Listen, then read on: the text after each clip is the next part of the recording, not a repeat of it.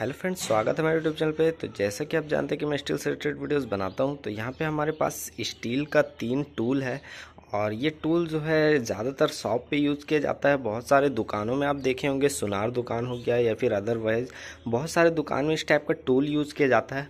और ये बीच वाला जो देख रहे हैं ये आ, ये ऑनर के लिए होता है यानी बहुत सारे ऑफ़िस में देखिएगा ऑफ़िस चेयर लगाने की जगह नहीं होती। तो उसके लिए हमारे पास इस टाइप का टूल बनता है और बहुत कोई बनवाते हैं। तो इसी टूल का आज मैं रिव्यू बताऊँगा कैसे क्या है स्टील का और क्या प्राइस है क्या मटेरियल है।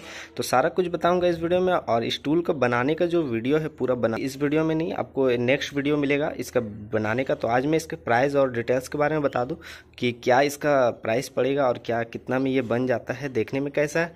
वीडियो बनाने का पर्पज़ यही है कि इस टाइप का टूल आप कॉपी करके भी बना सकते हैं अदरवाइज़ कहीं पर दुकान पर भी आप ले सकते हैं।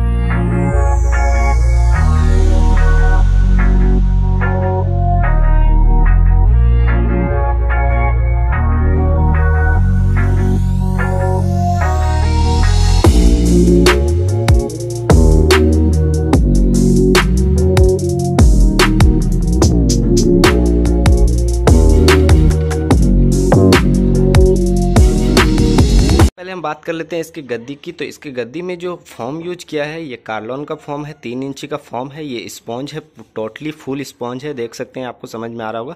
और यहाँ पे जो नीचे में ये प्लाई दिया गया है, आपको इधर दिखा दें। तो यहाँ पे प्लाई का काम है, ये हाफ़ इंची प्लाई यूज़ किया गया है। और बाकी ये फ्रेम की अगर बात करूँ, ये स्टील का जो फ्रेम है, उसके साथ यहाँ पे तीन रिंग का इस्तेमाल किया गया है। ये छोटा है, दो रिंग है।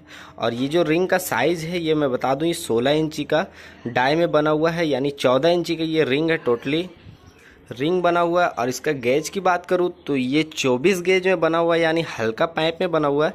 तो अगर मैं एक टूल का कोस्ट निकालूँ तो इसका वज़न अभी एक किलो 700 इसका वज़न है।